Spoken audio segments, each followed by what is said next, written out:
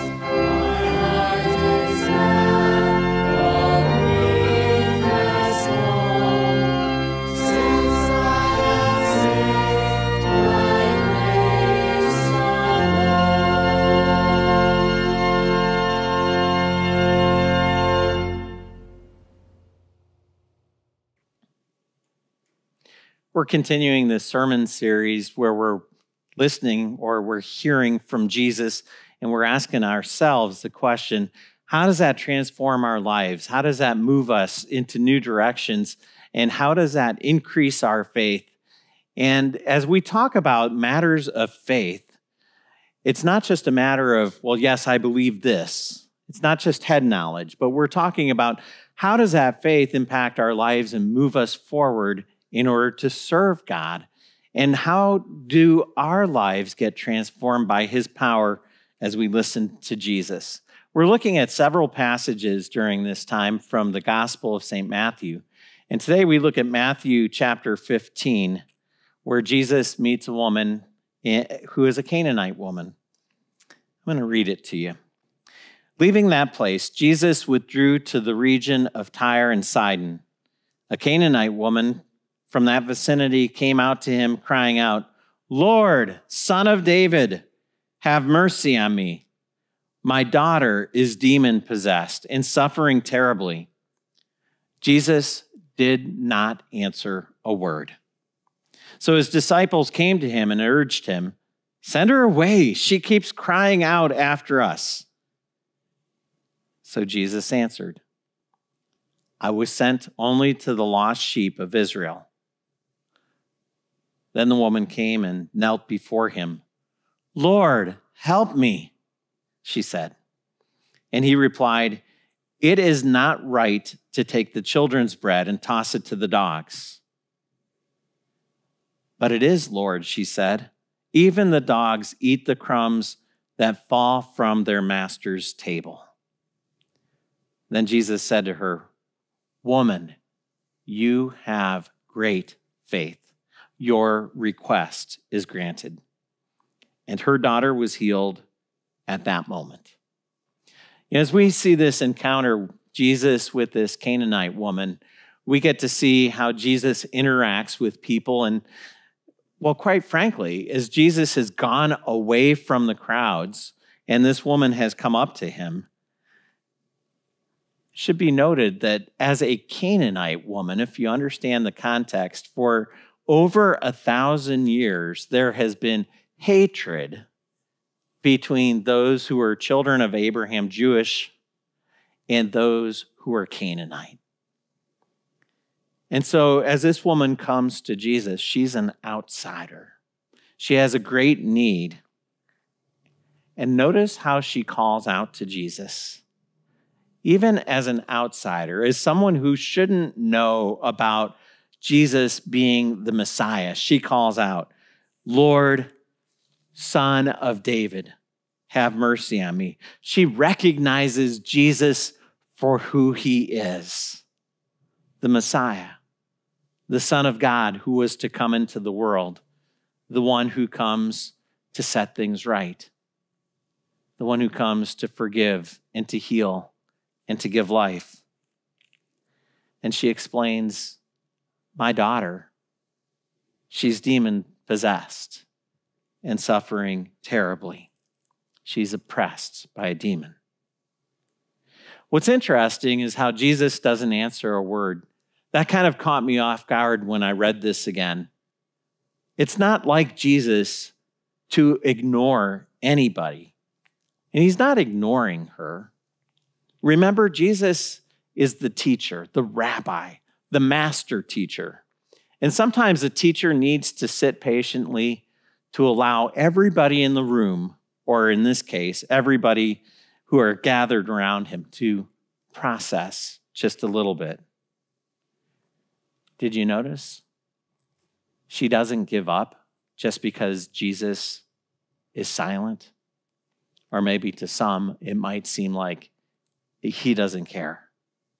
She continues to cry out. So much so that the disciples come to Jesus and they urge him Send her away, please. She keeps crying after us. One thing I want to say about the disciples remember, there's deep generational, thousand years worth of hatred.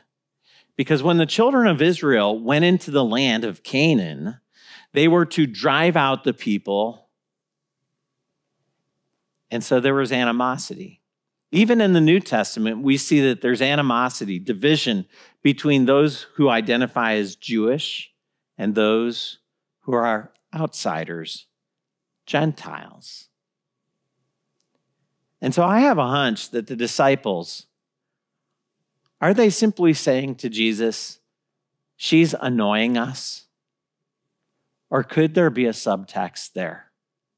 Somehow that the disciples are saying, This, this type of people, these people, you know you're in trouble when you start saying those people, these people. These people, they don't, they don't belong bothering Jesus. And although Jesus says what he says next, he doesn't buy into his disciples' bias.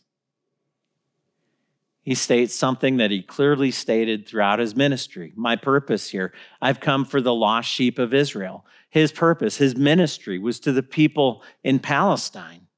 It was from there, after Jesus rose again and ascended into heaven, that his disciples would take the word of God and carry the light of Christ from Judea, Samaria, Jerusalem, Judea, Samaria, to the ends of the earth. So he says, I've come only for the lost sheep of Israel. And that woman kneels before him. It's an act of worship. And she pleads, Lord, help me. I want to point out this woman isn't just crying out to Jesus in desperation. As I said earlier, she recognizes him for who he is. She knows that he has the power to help. And so Jesus says this. I love this phrase, this statement that he makes. I love it maybe because I'm a dog lover. He says, It's not right to take the children's bread and toss it to the dogs. You know, sometimes when Jesus says something that seems a little off, it's an invitation for someone to step out in their faith. Sometimes when he's silent, it's an invitation for us to step out in faith, to trust that he has the power and that out of his love, he cares for us. And so she says, It is, Lord. For even the dogs eat the crumbs that fall from their master's table. She's identifying Jesus as her master and Lord. Only two times in Scripture does Jesus say this You have great faith. Only two places is it recorded, or two events. One was when the centurion, a Roman soldier, came to Jesus was asking for Jesus to heal his servant. And also here, when Jesus says to this outsider, this Canaanite woman, You have great faith.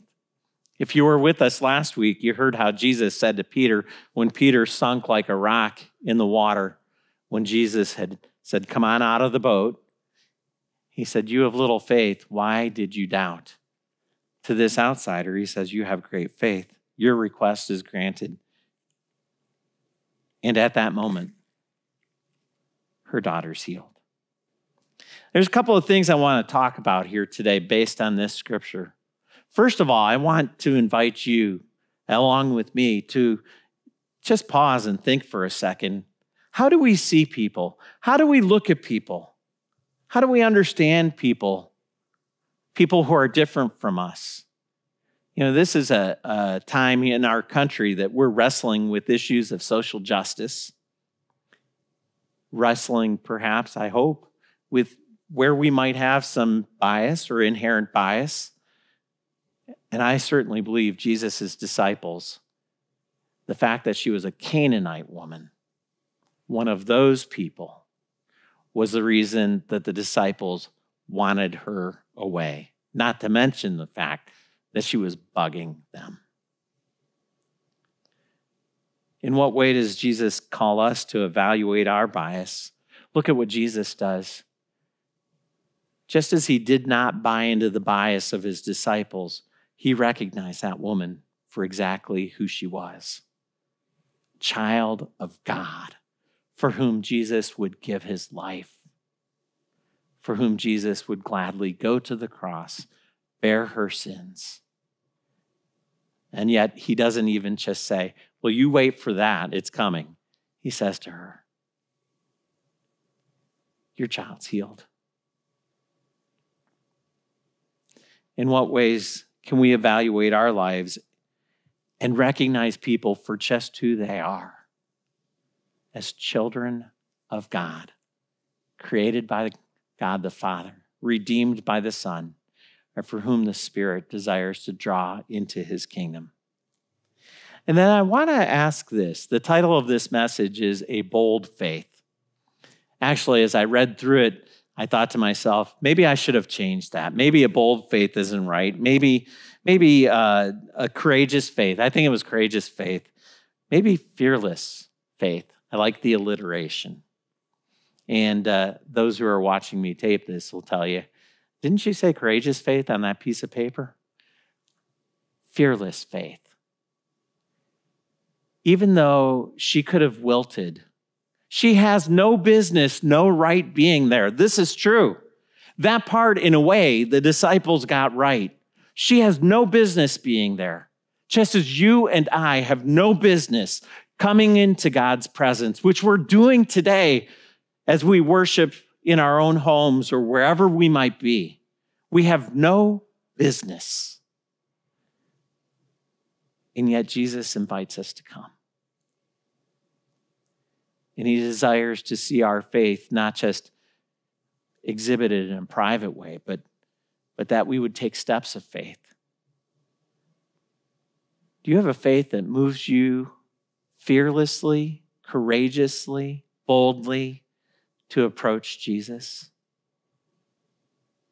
God's word says that because of his sacrifice on the cross for us and his resurrection, the gift of his grace, his love, his peace, and his power, we can approach the throne of grace with confidence. And so let's do that. What is it that you want to ask God for today? If you could ask him for one miracle, what would that be? I think sometimes we're hesitant to ask. Have you ever seen somebody who has some sort of need, maybe a family member, maybe a friend, and they're like, I don't want to be a burden to you. Just don't worry about it. Do you ever think that about God? I don't want to burden him with this. Well, quite frankly, he's already carrying the load, it's no burden. Or do you think to yourself, you know, I've, I've not been good enough, I've not done enough of the right things to approach him? Jesus says, Have courage, have faith. For I have done, he says, all that is needful for you to be in my kingdom and to approach me. Whether it's a prayer that God would just cancel the pandemic, remember, sometimes Jesus waits so that our faith can stretch and exercise. Or maybe the prayer is Jesus, Help me understand how this pandemic shapes my life and how I can help others throughout it. How I can be praying for others or encouraging others or sending messages or texts or phone calls to others so that they might be encouraged in their faith. You see, even though we have no business approaching the throne of grace, Jesus has opened the door wide and he invites us to come through to kneel before him, to call out to him, the Messiah, Jesus, son of David, and to speak fearlessly. And he listens, he cares, and he has power to touch the lives of you and me and change the world. In Jesus' name, amen. We confess our sins, I want you to be thinking about how is it that God desires to be changing your life and what from that message kind of sticks in your mind. Heavenly Father, we approach your throne of grace with confidence, and yet we know that we are not worthy to be here. We came into this world in bondage to sin, and we cannot free ourselves. So we throw ourselves before you for your mercy. And we ask that the, the love, the sacrifice, the peace, and the power of Jesus would plead for us. For it is only on the basis of what he has done do we approach you. And we thank you, Lord. For even though we can think of ways that we have sinned against you in what we've thought, what we've said, what we've done, or in things that we ought to have done to serve others and show your love that we failed to do, we know that you are merciful and forgiving. And so we come to you knowing that you will grant us peace. In Jesus' name, amen. God's word says that he has removed our transgressions from us as far as the east is from the west, that he loves us so greatly. And so I announce to you the complete forgiveness of all your sin in the name of the Father and of the Son and of the Holy Spirit. Amen.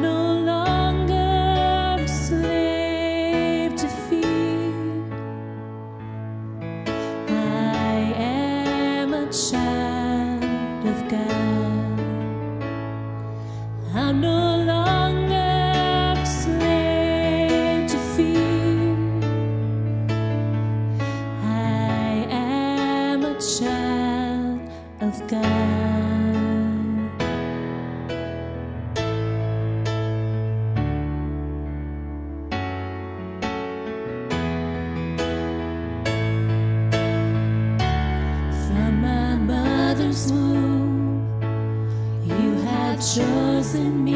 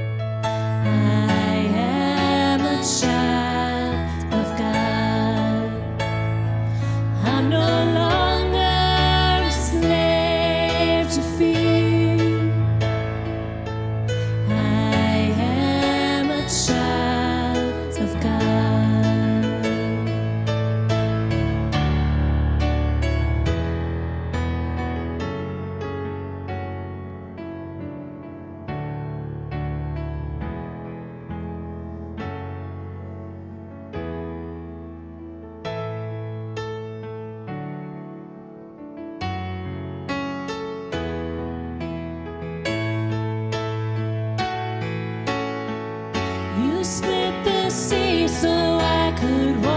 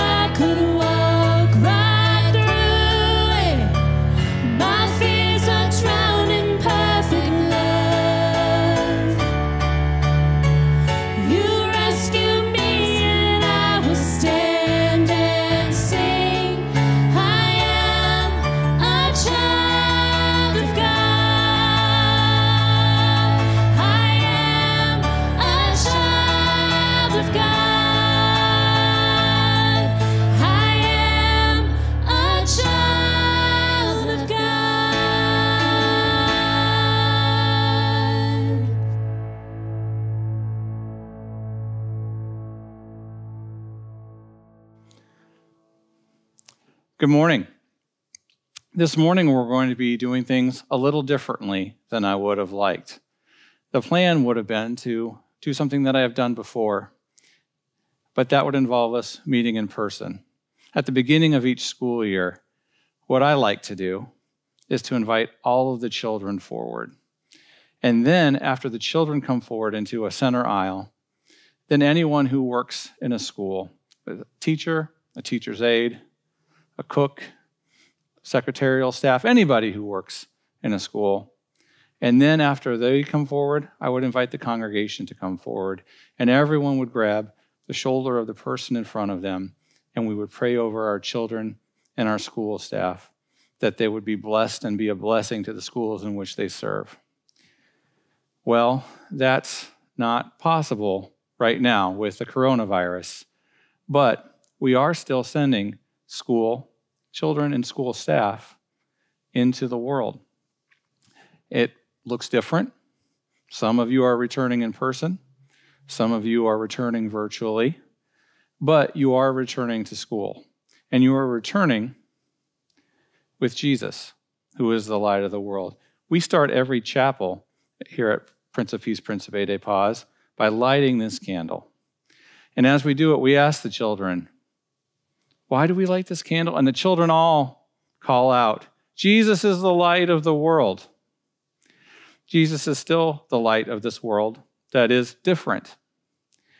And he is the light of the world at your school, not just at your church, not just at home. He is the light of the world at your school. And he has called you to bring his light, the light that lives inside of you. He said, Go and let your light shine. That, that that light is Jesus. And so, when you are kind to a classmate, respectful to a teacher, when you are forgiving, when you are merciful, what you are doing is you're bringing Jesus' light to your corner of the world. And we want to pray a blessing upon you as you do that. And so, as you learn, as you love, as you forgive, May you be safe. May you share that love. And as you share that love, if you, you have a friend and they, they don't go to church, invite them to, to watch church with you. If they don't have a Bible, let me know. I'll make sure you get one that you can give to them. All right? But we are called to be the light. We are called to bring Jesus as a light into the world, to let our light shine. And may you do that boldly this school year. May you be safe and learn a lot and be the light. Amen.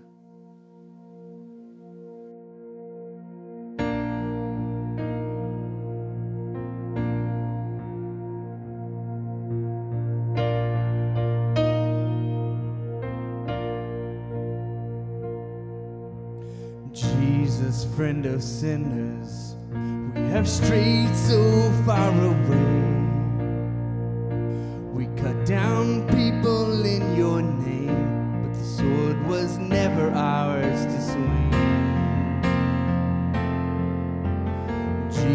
Jesus, friend of sinners, the truth's become so hard to see.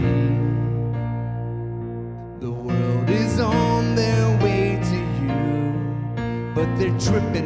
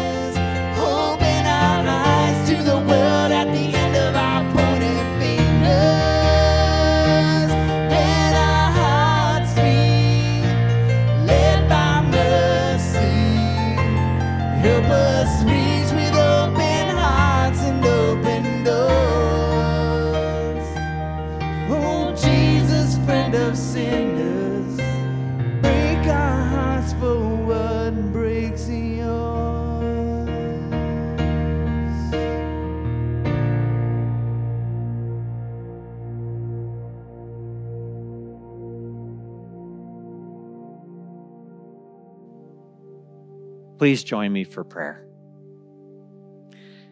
Heavenly Father, grant us a boldness, a great faith that has great expectations, where we approach you with confidence, confidence in your love and your power. Remind us of your, your sacrifice, Lord Jesus, and all that you have done for us, and strengthen us so that we might serve others and show the same love to others that you have shown to us. We pray for many people who have asked us to pray for them, for their needs. We ask that you would surround Terry and her daughter, Rochelle, with your love and peace. Also, be with Joe and Laura and Joe's mother, Rita. We ask that you would be with Jean Lapointe, Jason Gerken, John, as we give thanksgiving for his recovery as he's recovering from major cancer surgery be with Karen's mother in law's sister, Betty. We ask that you would continue to be with Jeanette as she is undergoing treatments for cancer, Annette with her ongoing health issues, Geo as he recovers from knee surgery, Gail, Muriel, many other people. We ask that you would be with 14 year old Jason, who is going in for surgery this week. Continue to surround Corey, Zoe, baby Finley with your love. We pray for Galena and John and their twin children. We pray for Hadley Grace as she continues to follow up now in her home in Michigan uh, with her doctors there, little 11 month old Hadley Grace. We thank you, Lord, for those who serve our communities, our first responders. We pray that you would protect them and watch over them. We thank you also for those who serve our nation, especially those in faraway places, potentially in harm's way. We ask that you would grant them success in their mission and that you would be with their families back home. And especially, we remember Jeff. We pray for our nation and our communities during this election season. Watch over us, guide us, and direct us. We pray for those citizens of our nation who are hurting. We pray for those who long for justice. We pray that you would help us to maintain law and order. We pray for safety and security for all, that it would, they would experience in that a safety and security that ultimately comes from you. We ask, Lord, all of these things for Jesus' sake, who taught us to pray. Our Father, who art in heaven, hallowed be thy name. Thy kingdom come, thy will be done, on earth as it is in heaven. Give us this day our daily bread, and forgive us our trespasses as we forgive those who trespass against us and lead us not into temptation, but deliver us from evil. For thine is the kingdom, and the power, and the glory, forever and ever. Amen. Receive the blessing of our Lord. The Lord bless you and keep you. The Lord make his face shine upon you and be gracious to you. The Lord look upon you with his favor and give you peace. Amen.